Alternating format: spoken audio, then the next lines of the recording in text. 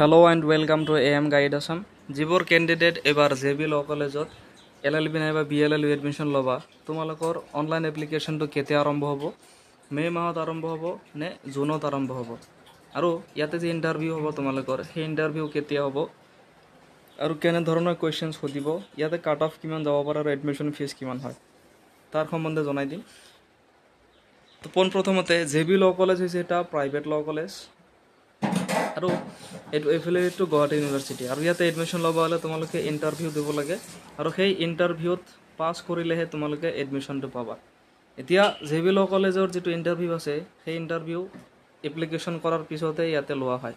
আৰু অনলাইন এপ্লিকেশ্যনটো যোৱা বছৰ যদি চাওঁ বি এল এল বিৰ কাৰণে মে' মাহত এপ্লিকেশ্যন আৰম্ভ হৈছিল আৰু মে' মাহতে এডমিশ্যন শেষ হৈছিল। তো এইবাৰ তোমালোকৰ এক্সপেক্টেড এটা ডেট আছে মে' মাহৰ মিড নাইবা জুনৰ লাষ্ট তো মে' মাহৰ লাষ্ট মানত তোমালোকৰ অনলাইন এপ্লিকেশ্যন ষ্টাৰ্ট হ'ব পাৰে আৰু জুনত তোমালোকৰ এডমিশ্যনটো কমপ্লিট হৈ যাবৰ মানে পূৰা চান্সেছ আছে। অন্যান্য বছৰ যদি চাওঁ এনে জুলাই মাহত এডমিশ্যন হয় কিন্তু যোৱা বছৰ বি এল এল বিৰ কাৰণে মে' মাহত এডমিশ্যন কমপ্লিট হৈছিল আৰু এল এল বিৰ কাৰণে জুলাই মানতে এডমিশ্যন হৈছিল। গতিকে এইবাৰো এক্সপেক্ট কৰিব পাৰা মে' মাহৰ লাষ্ট নাইবা জুন জুলাই মানত হ'ব। নটিচ কেতিয়া ওলা মই তোমালোকক জনাই দিম। কোনো ফিক্সড ডেট ইয়াতে ক'ব নোৱাৰি। লাষ্ট ইয়াৰৰ মতে হ'লে মে' মাহত হ'ব আৰু যদি অন্যান্য বছৰৰ নিচিনা তেতিয়াহ'লে জুন জুলাইত হ'ব। এতিয়া ইয়াতে যি ইণ্টাৰভিউ আছে সেই ইণ্টাৰভিউত কেইটামান কুৱেশ্যন সোধা হ'ব। তো ইণ্টাৰভিউত পাছ কৰিলেহে তোমালোকে এডমিশ্যনটো পাবা। তো ইণ্টাৰভিউত কেনেধৰণৰ কুৱেশ্যন সোধে আৰু প্ৰিভিয়াছ ইয়াৰত কি টাইপৰ বেছি কুৱেশ্যন সুধিছিল মই ইয়াৰ কাৰণে স্পেচিয়েল ক্লাছেছ কৰাই আছোঁ। আৰু ক্লাছত যিখিনি টপিক দিয়া হয় তাৰ পৰাই মেক্সিমাম কুৱেশ্যনছ ৰিপিট হয়। গতিকে তোমালোকে যদি ভালকৈ ইণ্টাৰভিউ ক্ৰেক কৰিব খোজা মোৰ ক্লাছটো জইন কৰি ল'বা।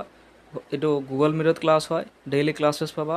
Live classes Google Meet plus যিখিনি নোটছ বা ৰেফাৰেঞ্চেছ লাগে গোটেইখিনি মই এইটো ক্লাছত দিম আৰু উইকলি এটাকৈ মক টেষ্টো হয়। গতিকে ক্লাছটো জইন কৰিলে অনলি থ্ৰী থাউজেণ্ড ফিজ হয়। মোক কণ্টেক্ট কৰি ল'বা। মোৰ হোৱাটছআপ নম্বৰ মই এইটো ভিডিঅ'ৰ ডেছক্ৰিপশ্যনত দি দিছোঁ। এতিয়া কথা হৈছে ইয়াতে যে এডমিশ্যন ল'বা তোমালোকে এডমিশ্যন ফিজ কিমান হয়? যিহেতু প্ৰাইভেট ল' কলেজ গতিকে B L L B L L B দুটাই তোমালোকে পাৰ ছেমিষ্টাৰ ইয়াতে এডমিশ্যন ল'ব লাগিব।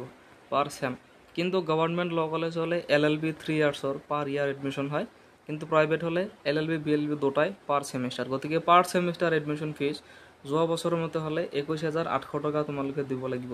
Twenty eight twenty one thousand eight hundred per semester এইটো প্ৰত্যেক বছৰ চেঞ্জ হয় গতিকে এইবাৰো চেঞ্জেছ আহিব পাৰে। যিখিনি চেঞ্জেছ আহে মই তোমালোকক জনাই দিম। আৰু তোমালোকৰ মনত যদি আৰু কিবা ডাউট থাকে যিবিলাক কলেজক লৈ মোক কমেণ্ট কৰিবা।